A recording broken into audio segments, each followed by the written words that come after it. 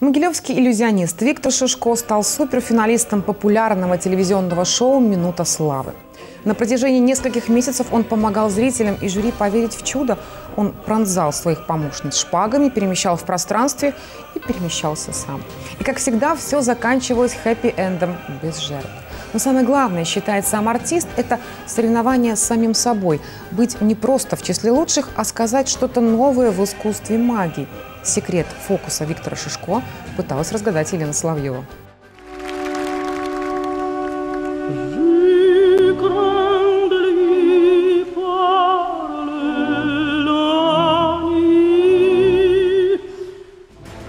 Загадочный, таинственный, мистический, жутковатый. Такую известность получил Виктор Шишко на телешоу «Минута славы».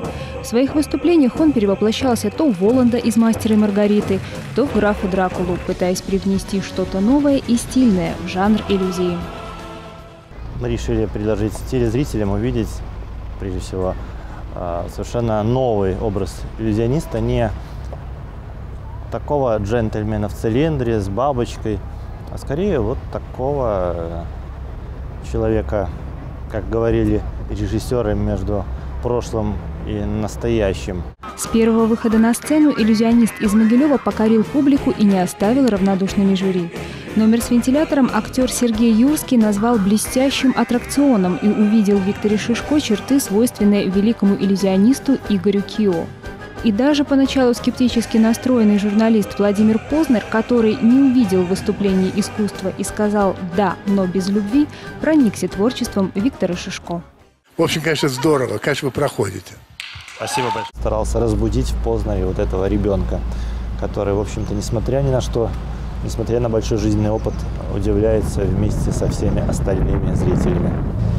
Самая высшая похвала была в первом туре Владимира Владимировича Познера, который сказал, я не вижу в этом большой вашей заслуги или вашей работы. Мне кажется, это самое главное в нашей профессии, чтобы телезрители и зрители не ощущал, что идет какая-то работа, что он видит просто настоящее чудо. Виктор Шишко увлекался фокусами с 12 лет. Его первыми зрителями были друзья и родные. Сегодня к творчеству иллюзиониста прикованы взгляды многомиллионной публики, желающей найти ответ на вопрос «В чем же фокус?». Одержимость. Только одержимые люди э, могут добиться каких-то невероятных вершин в своем творчестве.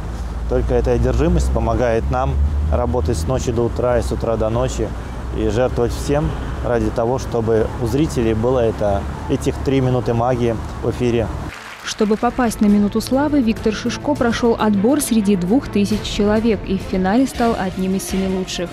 Но для артиста это было не столько соперничество, сколько встреча один на один со своими возможностями и предвкушение самой главной эмоции. Я назвал бы эту эмоцию жадность. Я начинаю жадно представлять, что я буду дальше делать, потому что каждый раз, как только я вот уже почти, почти наступил на эту предпоследнюю ступеньку, у меня рождается новая идея или э, стремление к чему-то новому. А вот сейчас мы новое шоу планируем и новые телевизионные проекты. Сейчас артист вернулся домой, взял небольшой тайм-аут, чтобы немного отдохнуть, а после отправиться в гастрольный тур с новым монументальным произведением сценического искусства и продолжить бесконечный поединок с самим собой. Секрет фокуса Виктор Шишко никогда не раскроет. Нет секрета, нет магии. Но публика обязательно скажет «мы хотим еще».